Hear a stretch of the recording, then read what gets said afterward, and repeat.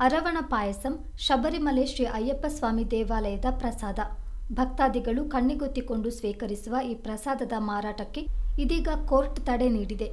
ಕಾರಣ ಪ್ರಸಾದಕ್ಕೆ ಬಳಸುವ ಏಲಕ್ಕಿಯಲ್ಲಿ ಕೀಟನಾಶಕ ಕಂಡುಬಂದಿದೆ. ಇದರಿಂದಾಗಿ ಸುಮಾರು ಆರು ಪಾಯಿಂಟ್ ಐದು ಕೋಟಿ ರೂಪಾಯಿ ಮೌಲ್ಯದ ಪ್ರಸಾದ ವ್ಯರ್ಥವಾಗುವ ಪ್ರಮೇಯ ಒದಗಿ ಬಂದಿದೆ.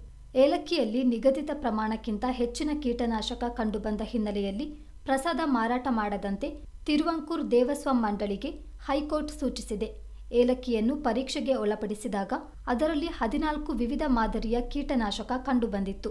ಗುತ್ತಿಗೆ ಪಡೆಯಲು ವಿಫಲವಾಗಿದ್ದ ಕಂಪನಿಯೊಂದು ಸಲ್ಲಿಸಿದ್ದ ಅರ್ಜಿಯ ವಿಚಾರಣೆ ವೇಳೆ ಹೈಕೋರ್ಟ್ ಈ ಪರೀಕ್ಷೆಗೆ ಆದೇಶಿಸಿತ್ತು. ಅಕ್ಕಿ, ಬೆಲ್ಲ ಹಾಗೂ ತುಪ್ಪದಿಂದ ತಯಾರಾಗುವ ಅರವಣಂ ಪ್ರಸಾದ, ಶಬರಿಮಲೆ ಕ್ಷೇತ್ರದ ವಿಶಿಷ್ಟ ಪ್ರಸಾದ. ಸದ್ಯಕ್ಕೆ ಎಲ್ಲ ಯಂತ್ರಗಳನ್ನು ಸ್ವಚ್ಛಗೊಳಿಸಿ ಏಲಕ್ಕಿ ಇಲ್ಲದೆ ಪಾಯಸ ಮಾಡ್ತೇವೆ. ಗುರುವಾರದಿಂದ ನಾವು ಏಲಕ್ಕಿ ರಹಿತ ಪಾಯಸ ವಿತರಿಸ್ತೇವೆ ಮತ್ತು ಸಾವಯವ ಏಲಕ್ಕಿಯನ್ನು ಸಂಗ್ರಹಿಸಲು ತೀವ್ರ ಪ್ರಯತ್ನಗಳು ನಡೆಯುತ್ತಿವೆ ಎಂದು ದೇವಸ್ವಂ ಮಂಡಳಿ ಹೇಳಿದೆ.